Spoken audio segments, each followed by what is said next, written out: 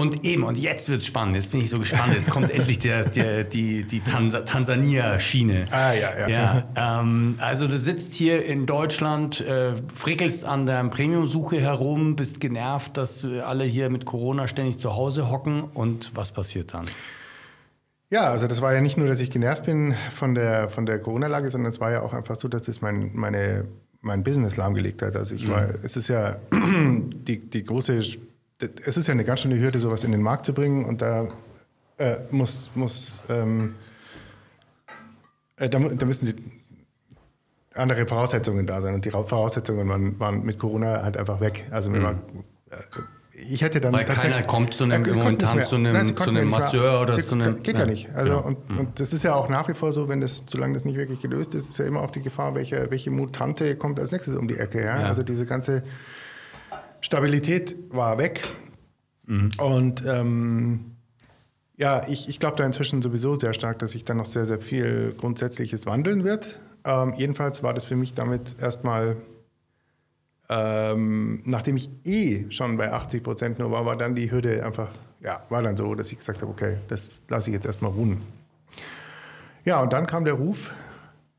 Ähm, also ich war dann ja, wo sind wir jetzt? 2020 ging das ja los und ich habe dann, äh, dann waren ja Lockdowns, ich weiß jetzt gar nicht mehr genau, aber dann hatten wir schon einen sehr schönen Sommer. Wir hatten das dann, oder auch Frühling, wir sind dann viel rausgefahren in die Natur mhm.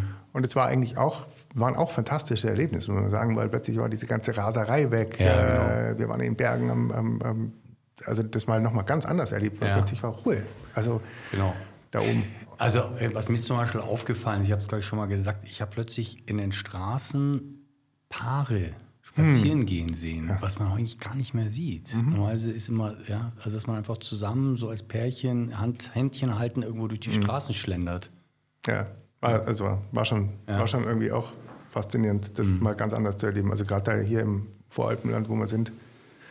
Ähm, jetzt geht es ja wieder los mit der, mit der Raserei. Absolut. Ja. Aber da war Pause. Also das war schon genial. Und dann, ja, auf einen dieser ähm, ähm, es, es, hat dann eine Weile gedauert und ich habe dann ähm, zwar schon mir gedacht, die Lockdowns werden nicht aufhören. Ich hatte das auch meiner, meiner Freundin gesagt und gemeint, nee, nee, das hört schon wieder auf und so weiter. Ich gesagt, ja, glaube nicht. Und dann war mal irgendwann im Spätherbst und habe ich gesagt, okay, jetzt äh, fahre ich weg. Da kam so richtig so ein Ruf, Tansania soll es sein. Und, ähm, Wie bist du auf Tansania gekommen? Also es ist wirklich Intuition. Natürlich auch noch durch den Magafuli, der dieses äh, witzige Video gepostet hat, wo er die PCR-Tests. Ähm, ah, das habe ich gar nicht mitgekriegt. Ja, es war ein ziemlich, ziemlicher YouTube-Knüller. Der hat ja dann an, an, an Ziegen und Motoroil und, und Papaya hat er ja dann den PCR-Test probiert. Und man hat ja gesehen, das war halt ähm, positiv. Also haben sie damals schon beschlossen, okay, also wir machen den Schmarrn nicht mit. Mhm. Also das war dann natürlich auch ein großer Faktor, aber natürlich fand ich auch schon immer diese Tierwelt total faszinierendes Land an sich. Afrika fand ich schon eh immer ja. mega spannend. Und ja, dann habe ich gesagt, okay, jetzt fahre ich los. Mehr als ein Urlaub kann nicht passieren. Also im schlimmsten Fall habe ich gesagt, bin ich in zwei Wochen wieder da. Und, aber du hast erstmal nur das Hinticket gebucht. Ich habe, nee, nee, ich habe schon ein Back, Backticket auch gehabt. Okay. Ja, ja. Mhm. Um, ich weiß gar nicht mehr für welchen Zeitraum, aber das kann man, also das verschieben. Kann man oder? verschieben. Ja. ja, dann bin ich dahin. Und es war schon alles ziemlich dystopisch. Also man hat schon gemerkt, okay, diese ganzen Systeme, die einen jetzt, ähm, äh, also man ist also hundertmal gecheckt worden und ich musste dann noch kurz davor nochmal einen PCR-Test machen. Dann war der, für die Einreise oder für die Ausreise? Ja, ich bin über Amsterdam geflogen. Ah, okay. Und weil ich zwei Tage bevor ich ins Flugzeug gestiegen bin, kam diese Regel, dass man dann über Amsterdam nur für den Transfer auch einen PCR-Test äh, braucht. Ja? Mhm. So, also das war, hatte schon gemerkt, wie also täglich jetzt hier so die Schlinge enger sich zieht und so. Und ich war dann, ähm, also es war schon krass. Also ich bin dann, äh, ja, das ist eine Geschichte für sich, weil ich hatte dann erst einen positiven Test und am nächsten Tag dann einen negativen Test. Also, ja. Okay, auf und jeden Fall, irgendwann saßt du endlich im Flugzeug. Im Flugzeug, genau. Und dann ging es ähm, nach Kilimanjaro. Und in Kilimanjaro war ich dann erstmal auf einer kleinen Lodge. Ich hatte dann von da aus, äh, von hier aus schon eine Safari gebucht im, äh, in der Kilimanjaro-Gegend, also in Norongoro-Krater äh, und das ist, ist, das Tansania? Ich ja, dachte ja. immer, das wäre schon Namibia. Ja, äh, Kenia meinst du Kenia, wahrscheinlich? Ja. ja. das ist Marketing von den Kenianern, die haben das okay. gut gemacht. Also viele glauben, dass, dass der Kilimanjaro in Kenia ist, ne? ist Tansania. Mhm. Aber auf jeden Fall ähm, ja, das war toll, das war fantastisch. Also ein totaler Szenenwechsel. Also dann eben ähm, habe ich dann diesen, diesen, Klassiker gemacht, also Lake, Lake Maniare, das ist so ein Nationalpark, äh, äh, Tarangire Nationalpark und eben Ngorongoro-Krater. Das ist das, wo die Chimex, das ist sozusagen das ähm, genau. Lebenswerk ja. von den Chimex. Ja, genau. Also es war fantastisch. Äh, da natürlich auch äh, war wenig los wegen Corona. Also man konnte dann ähm, das ganz anders erleben als sonst. Ganz wenige Fahrzeuge nur, die waren ja auch alle lahmgelegt. Tourismus war ja platt. Ja. Und äh, also es war fantastisch, ähm, da diese, diese Safari zu machen ähm, und diesen ja, also es war, es war ein unglaublicher Szenenwechsel. Genau, und was ist jetzt die Frage? Also wie es weiterging. Ja, genau, weil du hast ja dann da aus einem Urlaub plötzlich mhm. eine völlig andere, mhm. völlig neue Idee entwickelt ähm, und mhm. ein neues Projekt ins Leben gerufen. Ja. Ähm, und das, erzähl doch mal davon. Ja, also mehr und mehr hatte ich so das Gefühl, dass ähm, die, die ganze alte Welt, in der ich hier so bin, dass die so nicht mehr existieren wird, weiter existieren wird. Das war schon... Äh, ich war schon sehr offen auch, dass sich was ganz anderes ergibt. Und ich hatte dann eine, eine Intuition, äh, dass ich gerne nach Westen fahren möchte, zu diesem fantastischen Lake Tanganyika, den ich vorher nur aus einem Reiseführer kannte, von dem ich vorher noch nie irgendwas gehört hatte. Und der riesig ist, oder? Er ist der längste See der Welt, 650 Kilometer. Mhm. Ähm, der zweitgrößte der Welt, nach dem Baikal, von dem Wassergehalt her. Also mhm. der See geht bis auf 1,5 Kilometer runter. Also wow, also unglaublich. Okay. Süßwasser. Ja, Süßwasser. Okay. Genau. Und, und noch sauber relativ. Ah, absolut. Weil da einfach drumherum noch nichts ist. Wenig. Also es gibt, glaube ich, schon Gegenden, wo es ein bisschen problematisch ist, aber da, mhm. wo ich dann war, ist es also, ähm, also ich würde schon sagen, im allergrößten ja.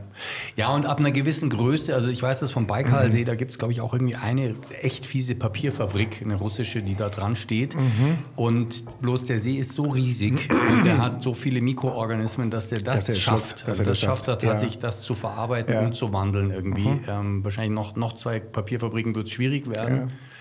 Ja. ja.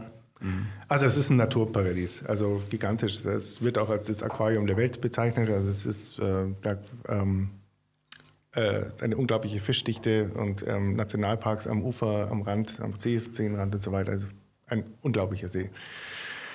Ja, den wollte ich also irgendwie erkunden und zu dem Zweck bin ich dann von Arusha aus, das ist eben in der Kilimanjaro-Ecke, ähm, aufgebrochen. Und das war dann also ein ziemlich also entscheidendes Ereignis für die ganze ähm, Geschichte. Ich schreibe auch ein Buch übrigens drüber, über oh, das ganze cool. Ding. Ja, Super.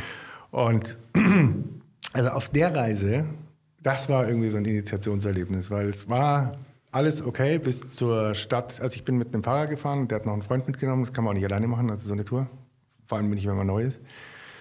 Und bis zur Stadt Tabora ist alles eigentlich gut gegangen und dann wird es richtig chaotisch. Also man muss dazu sagen, es sind 1000 Kilometer, einmal quer durch Tansania. Und dann muss man, ähm, das letzte Stück wird es dann Wild West. Also da fährt man durch ähm, Dschungel und Pisten und keine ja, Straßen. Ja. Also von der mhm. Seite aus, wenn man kommt. Mhm. Von der Dar es Salaam-Seite ist was anderes. Aber da geht es dann wirklich.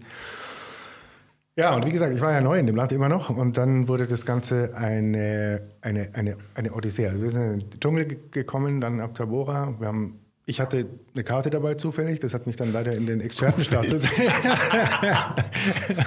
ja, so eine Karte noch gekauft. Ja. Ähm, aber die hat mich dann irgendwie in den Expertenstatus versetzt. Ich habe eigentlich gedacht, die Fahrer kennen sich aus.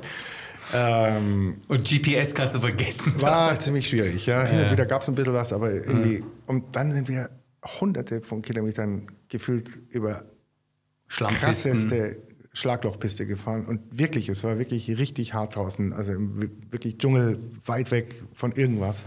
Es wurde immer wilder, es wurde immer irgendwie. Äh, also es war. Und das ging, glaube ich. Ähm, und das war, wir hatten ein kleines Auto, das war ein Toyota Mini-Ding, irgendwie Bus, Achso, also nicht einmal so ein so schöner Caddy. Hilux oder nee, so. Nichts, nichts dergleichen. Das war wie so, wie so ein Caddy von, von, von VW. und ich hatte ja meine Habseligkeiten, zwei Rucksäcke irgendwie, das war das, was ich noch hatte. Und Essen, Trinken und so? War schwierig. Also ich habe auch echt Hungerstrecken gehabt mhm. und, auch, und auch Durststrecken. Mhm. Im wahrsten Sinne. Ja. Und, ich wusste auch nicht, wo geht es überhaupt hin? Was sind hier für Leute? Und, und mhm. was ist das alles, was ich hier gerade mache? Also das war schon, das war schon so eine. Ja, es war so im Nachhinein so ein bisschen wie Sterben. Mhm.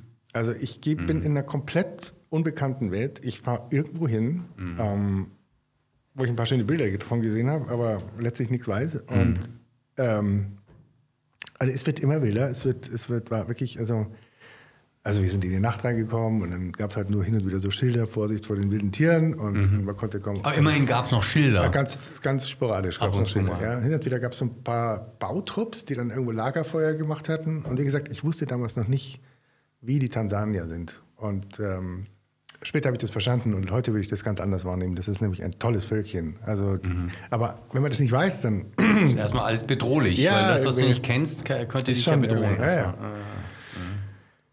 Genau. Also du hast zwischendrin Momente gehabt, wo du wahrscheinlich auch dich gefragt hast, kommst du hier überhaupt raus? Ja, so, und will ich, also ich hatte ja auch das Gefühl, zu Hause gehen alle Türen zu mit ja. dem Corona. Also ich, wär, ich, es war noch nicht mal mehr sicher, ob der Flugverkehr nicht bald eingestellt wird. Mhm. Man muss sich in diese Zeit zurückversetzen. Das war wirklich eine ja. unfassbare Panik vor diesem, vor diesem Corona damals und eine, eine, eine tägliche ändernde Lage. Ja. Und auch bei der Fluggesellschaft, wo ich war, da hat man auch schon festgestellt, die haben oder gemerkt, dass die schon Bammel hatten, dass denen jetzt nicht bald, dass die nicht zumachen müssen, dass die aufhören müssen. Also der, weil, sie, weil ihnen das Geld ausgeht. Aber na, auch, auch ja. das, richtig, ja, natürlich. Klar, auch keine das, Flüge. Ja. ja, ja. Und aber auch, dass sie halt irgendwelche Regeln bekommen, dass sie es nicht mehr dürfen. Ja.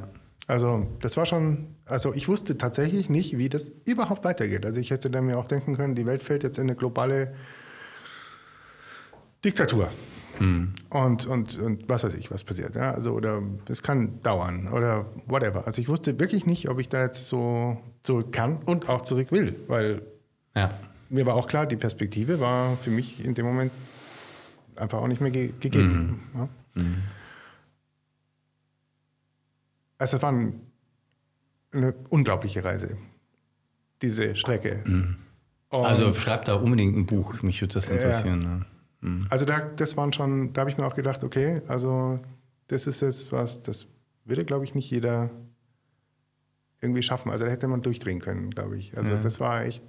Was würdest du sagen, was, was, was war die Hauptherausforderung, mit der du da dich konfrontiert gesehen hast? Also mit einem krassen Gefühl von Einsamkeit und Ungewissheit umgehen zu können. Mhm. Also sowas wie auch nicht mehr kontrollieren können, Absolut. was passiert? Absolut. Also es ist wie sich fallen lassen in irgendwas völlig. Ich sage ja, das hat keine Unähnlichkeit mit dem, mit dem, mit dem Sterben gehabt für mich. Ja. Also ich denke, okay, das Alte verschwindet gerade. Mhm. Das Neue ist eine, eine, eine, wilde, unbekannte Umgebung. Mhm. Und alles, was ich habe, bin ich so. Ja. ja. Also das ist geil. Und dann gab es da wahrscheinlich auch Momente, die genau in diesem existenziellen, die, die dann auch sehr intensiv für dich waren, Absolut. oder? Also wo du wirklich auch vielleicht dich viel mehr gespürt hast als je, je, je die Jahre davor, das oder? ist der Punkt, ja, genau. Ja. Und war das dann, dann aber wahrscheinlich auch nicht so auf einen Schlag, so, ja, jetzt spüre ich mich, ach ja, sondern das sind so, wahrscheinlich ist so ein, ich stelle mir das vor, wie so ein Hin- und Herschwanken zwischen mhm. Abgrund, äh, mhm. boah, wohin geht's? Mhm. Und dann plötzlich, boah, cool, mhm. Intensität, ich erlebe was, ich spüre mich. So, so. habe ich es auch erlebt, ja. Mhm. Also man singt dann wieder und dann muss man sich, dann hat man zu kämpfen und dann wird es plötzlich wieder ganz licht und ganz spannend, wie, ja, wie du es beschrieben hast. Kannst, mhm. kannst nicht besser beschreiben. Mhm. Naja, okay. Und dann ging das eben zwei Tage so. Und irgendwann sind wir, waren die Fahrer am Ende. Also waren die Fahrer am Ende und haben gesagt, okay, wir machen hier echt nicht weiter. Der eine hatte schon Heimweh, weil für die war das ja auch schon eine Entfernung in, in Tansania. Und dann habe ich gesagt, okay, gut, ähm, also mit den, und dann waren wir in der Stadt Mpanda, das ist also auch schon sehr weit weg. Sehr da haben die gestreikt, haben gesagt, haben wir gesagt, fahren nicht mehr weiter. Jetzt, jetzt nichts mehr. Also immerhin warst du in einer Stadt, wo es andere genau. Menschen und ja, Autos genau, vielleicht genau, auch gab. Und genau, also das war der, die hätten mich auch nicht stehen lassen einfach, also das muss ja, man auch dazu also, sagen. Aber okay. sie haben einfach signalisiert, für die geht es jetzt nicht weiter, die müssen ja auch alles wieder zurückfahren. Boah, ja mit der Kiste, die geächt, gequietscht hat und was weiß ich. Und dann hieß es eben, da haben wir im Panda haben wir dann eben jemanden gefragt, wie weit es denn jetzt noch zum See ist. Und dann war die Antwort ungefähr vier Stunden. Und das kann halt auch in Tansania locker mal acht Stunden bedeuten, was ja. für die wiederum 16 Stunden bedeutet, plus bedeutet. Mhm. Also es war, und die waren einfach fertig. Okay, und dann kam eben die Wende, dann habe ich eben auf dieser, Show, ähm, auf dieser Lodge angerufen, wo ich dann hin wollte. Ja. Das war ja mein eigentliches Ziel.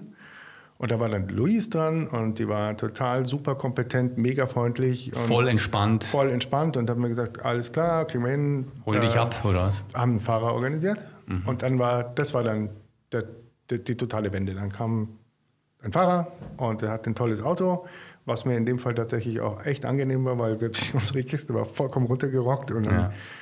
war das einfach. Und dann sind wir, das war, das war so der Wendepunkt. Und dann sind wir da runtergefahren durch den Katavi-Nationalpark. Mhm. Jetzt alles entspannt, Tag. wieder was zu essen gehabt, also auch wieder irgendwie. Aufgetankt. Ja, aufgetankt, mhm. ganz genau. Und dann war dieser Kantabi Nationalpark, diese Fahrt da war auch absolut fantastisch. Das ist ein sehr, sehr abgelegener, der abgelegenste Park, glaube ich, sogar in Tansania und ähm, gleichzeitig ein ähm, ganz besonders tierreicher auch. Und man fährt eine unglaubliche Strecke an Giraffen vorbei, an Wild, ähm, an, an, an Wasserbüffeln, Nilpferde, Krokodile. Eine unglaubliche Natur, hügelig, Bäche, mhm. kleine ähm, Tümpel, ähm, Lichtungen, wo man Giraffen ähm, Äsen sieht an den Bäumen und so ja. weiter. Es war ein, eine unglaublich tolle Szenerie. Und das ging dann vier Stunden lang, glaube ich, um, um der Art. Und dann bin ich immer am See angekommen. Mhm. Und dann dort auf der Lodge. Und da war es dann wirklich so, das war wie wiedergeboren zu werden. Also ich hatte dann da wirklich das Gefühl, okay, jetzt, jetzt bin ich im Paradies. Du bist durch das Purgatorium ja, durch und so dann. Hat sich's angefühlt. ja, cool. Und plötzlich war alles safe, plötzlich war alles super. Und tatsächlich ist dieser Platz, der kam mir so sicher und so geborgen vor. Direkt am Ufer mhm. und im Hintergrund diese Natur, diese ganze Lodge funktioniert off-grid, also kann ausfallen, was will. Ich hatte eine kleine Hütte, unglaublich nette Menschen dort. Ähm, totales Szenenwechsel wieder. Es war ähm, mhm. Und wahrscheinlich hat genau dieses sozusagen diese dunkle Phase oder dieses Ungewisse, dieses Abfallen mhm. vielleicht mhm. auch von so alten, ja, vielleicht fast schon so alten, alten Mustern oder Strukturen war, war wahrscheinlich nötig, dass du dann da an diesem See plötzlich solche, solche Ideen ja. entwickeln konntest. Ja. Ja, ja absolut. Kurze Frage noch, wie kommt man denn sonst zu dieser Lodge? Äh, wahrscheinlich also geht, ist das nicht der, die klassische Anreise, die du da gemacht hast, oder? Ja, nein, das war natürlich schon der, die, keine Ahnung, also das Hardcore-Anreise. Hardcore-Anreise, ja. Mhm. Nee, nee, man kann ähm, von Dar es Salaam nach Panda fliegen äh, ah, okay. Inlandsflug in eineinhalb Stunden und äh, nicht mal, ja, eineinhalb Stunden. Und dann geht es eben, wie gesagt, diese letzte Strecke vier Stunden, aber die ist, ja auch schon, die ist ja auch schon ein, ein Erlebnis. Also ja, das, ja, genau. ist, das ist äh, deutlich besser. Und auch mit dem Auto ist es besser zu machen. Von Dar es Salaam nach Panda, da ist nämlich auch Teerstraße. Das ist dann schon eine Tour, also da ist man dann schon auch natürlich lange unterwegs, aber per Flugzeug geht's von Dar es Salaam aus in eineinhalb Stunden plus diese Fahrt. Ja, okay. Ja, und das ist auch dann die Standardroute, die du dann später verwenden ja, ja. hast, jetzt immer. Ja, ja. Okay. das war irgendwie so eine, in der, weiß ich, das war, ja, das war noch von damals, von uns, von unseren Reisen. Das war so dieses, ja. oh, da wollen wir jetzt mal hin, fahren wir doch mal los. Ja, so, ne? ja genau. genau. Ja, liebe Freunde zu Hause, wenn euch dieser Podcast gefällt, dann könnt ihr ihn natürlich unterstützen. Es gibt ein paar ganz einfache Dinge. Liken, abonnieren, den Alarm drücken für das Abo oder ihr geht auf unsere Patreon-Seite, die ihr unten findet im Fußtext. Dort könnt ihr uns natürlich auch finanziell unterstützen. Danke euch.